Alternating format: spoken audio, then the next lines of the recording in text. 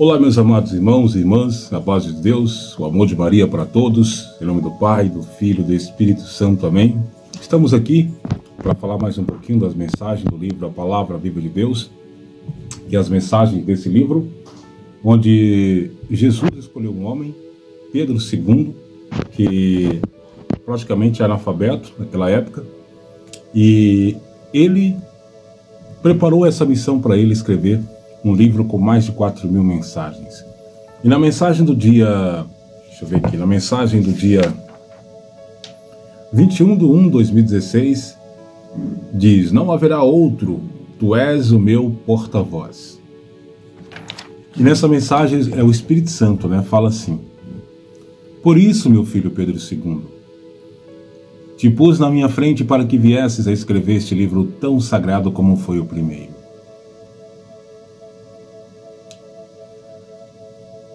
Iluminado por mim, onde outro não poderia escrever, foste tu que já estavas em meus planos, como tudo tinha que se cumprir.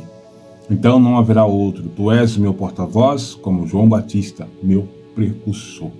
Divino Espírito Santo, o próprio Pedro II. Então, meus irmãos, naquela época nós sabemos que São João Batista ele foi o precursor de Jesus Cristo pela sua primeira vinda aqui na Terra.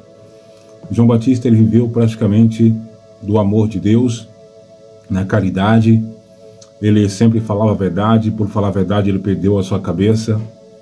Ele dava de dedo mesmo naqueles que, que cometiam pecado e orientava as pessoas, falava de Deus, anunciando a primeira volta de Jesus ao mundo.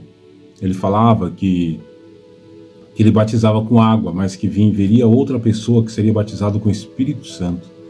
E nesses tempos finais, Jesus escolheu um homem chamado Pedro II, Bento da Conceição, Taquara, Santa Catarina, que viesse a escrever esse livro com mais de 4 mil mensagens para orientar as pessoas a se prepararem cada vez mais, a aderirem é, à oração, a aderirem o respeito e o amor a Deus.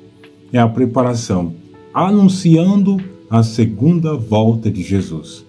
São poucas pessoas que têm conhecimento sobre essas palavras, essas mensagens celestiais do livro A Palavra Viva de Deus. Ele foi escolhido desde 1972 e por isso, nessa missão, ele fala muito, Jesus, através do profeta. As vestes, a modéstia, o amor para com o próximo, o respeito, o respeito dentro da casa de Deus, denuncia os erros que vêm acontecendo dentro da igreja nos tempos de hoje. Fala da igreja modernista, do pacto que o Vaticano fez com o mal e tudo isso muito mais. Por isso, você quer ter conhecimento desse livro A Palavra de Deus? Acesse o site www.pvdeus.com.br. Grande abraço a todos, salve Maria, até o próximo vídeo.